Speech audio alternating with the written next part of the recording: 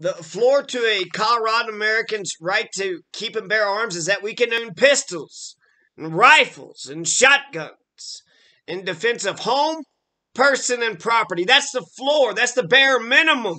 That's the bare minimum. We can own pistols, rifles, and shotguns in defense of home, person, and property. Colorado law, it has three, you know, elements. You can defend your home, your person, and your property. When it comes to the home, there's an extreme maximum castle law in defense of home. That's Colorado law. The Colorado law is also an extreme stand your ground in terms of defense of person and a maximum or extreme right to bear arms in defense of property. Maximum or extreme, but none are absolute. None are absolute, but castle law stand your ground. They are extreme. They're both extreme. But when it comes to the right to bear arms in defense of property, there's one statute that says maybe you should, you know, shouldn't kill everybody that steals property, but property is all over the place. It's in the Constitution. It's in uh, Section 2, the, you know, Article 2, Section 13. And uh, vigil, vigil defense property and property, both the U.S. Constitution and the Colorado Constitution defends property. So the floor to a Coloradan's right to keep and bear arms, you have a right to keep and bear arms. You have a right to own and carry those guns around. And those guns, at the very least, are pistols, rifles, and shotguns. They've banned assault rifles in. I think they, there's an assault rifle. There's red flag law. I think they banned assault rifles too. But you can own pistols, rifles, and shotguns in defense of home, person, and property. That's the floor. That's the bare minimum. That's the bare minimum.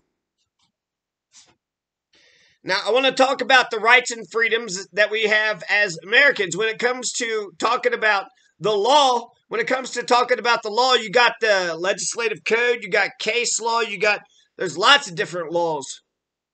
And so it's important to understand that when you put all these laws together, there's the spirit of the laws. And so, what does the spirit of the laws of Colorado say?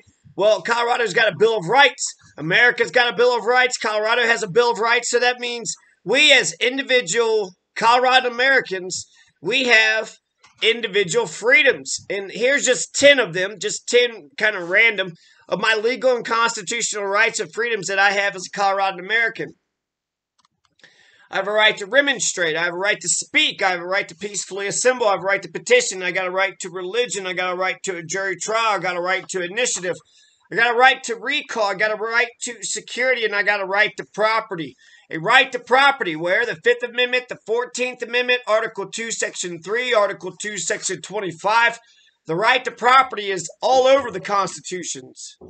So those are my 10 uh, freedoms. The right to remonstrate, Article 2, Section 24. The right to speak, as the First Amendment, Article 2, Section 10, and on and on. And so there are several parallel you know, laws, right to, you know, petition and assemble and the freedom of the press. So a lot of the same rights and freedoms that is protected under the U.S. Constitution is also protected under the Colorado Constitution, which is fantastic. So as a Coloradan American, you got two constitutions that say that you got a whole host of freedoms. And according to my calculations, it's about over 70 freedoms. So the above 10 rights that I just said are Colorado law. Let me just say them again. These are constitutional, legal constitutional law. The right to remonstrate, the right to speak, the right to peacefully assemble, the right to petition, the right to religion, the right to a jury trial, the right to initiative, the right to recall, the right to security, and the right to property. So that's all Colorado law. That's all Colorado law. That's in the Colorado Constitution. It's backed up by the U.S. Constitution those cannot be fucked with. And that's fantastic, right? We got the right to recall our politicians. We have a right to security, a right to property. And the uh, Constitution of Colorado expands the baskets of and freedoms, uh, rights and freedoms that are already granted to us in the U.S. Constitution. In some respects, Americans are only allowed to demonstrate, but we Coloradans are allowed to remonstrate. So we have an extra freedom when it comes to we can remonstrate in Colorado. You can't remonstrate in the rest of America, but you can do all the remonstrating that you want in Colorado. While the U.S. and Colorado Constitution doesn't enumerate all of our natural rights and freedoms. Natural rights and freedoms are still guaranteed under both the U.S. and Colorado Constitution. As the Ninth Amendment, which comes from the 1791, the U.S. Constitution ratified the Bill of Rights. So the Ninth Amendment to the U.S. Constitution in Article 2, Section 28, which comes from the 1876 Colorado Constitution. So we both have natural rights and freedoms are guaranteed under the Constitution, but they're not spelled out. They haven't been enumerated. That's a big problem. That's a big gaping hole. Do we use the Universal Declaration of Human Rights? Do we use the Bill of Rights for Bolivia or Mexico? Where do we look at, you know, for the rights and freedoms that are our natural rights and freedoms? Well, you can do all, you know, all over the place. Here's eight natural rights that are not found in either U.S. or the Colorado Constitution that are still Colorado law. We have a right to unionize. We have a right to marriage. We got a right to privacy, a right to found a family, a right to food, water, the right to clothing and warmth, and the right to shelter. That's Maslow's hierarchy of human needs. You, if you're you're cold, get warm. If you don't have a house, get some shelter. You don't have food or water, get some food and water. So these are all natural rights and freedoms that are not spelled out. They're not enumerated in the U.S. or Colorado Constitution, but they are natural freedoms, natural law. So they are a part of Colorado law. Some people might actually think that natural law is above constitutional law. I, however, do not. Natural law would be below constitutional law only because constitutional law allows natural law. So we should really actually just you needed to enumerate them. That was kind of a slick little thing Alexander Hamilton said. Well, just because we didn't say that a right doesn't exist doesn't mean that doesn't. Yeah, it does. It's exactly what you're saying. So, what the hell does any of this mean? Well, we have a hierarchy of laws, right?